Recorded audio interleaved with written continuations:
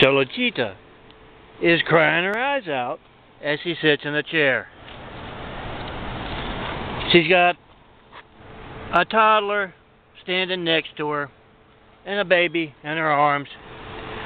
And the stroller is full of store merchandise. You see, she's in the security office. And she's crying and she says, Oh, I've never done anything like this before and I'll never do anything like it again. You see, my man Tyrone ran off on me, and I just had to steal to get food for these kids.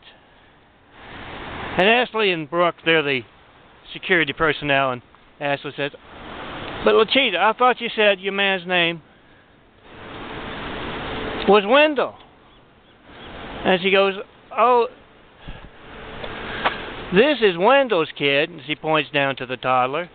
And she uh, points over to uh, the baby, and this is Tyrone's kid. And I just had to steal to to get food for them. And Brooks goes, "Well, okay, we can let you go this one time.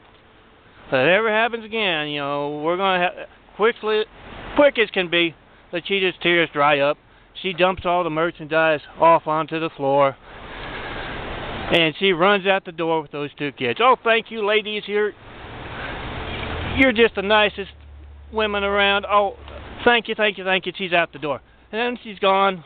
The phone starts ringing on the table. And Brooke says to Ashley, Wow, you got an expensive phone there. And Ashley says, I can't afford something like that. That's got to be a $500 phone.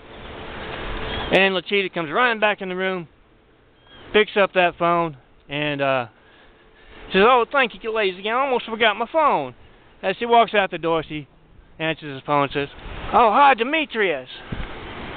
Good news. We're going to have a baby.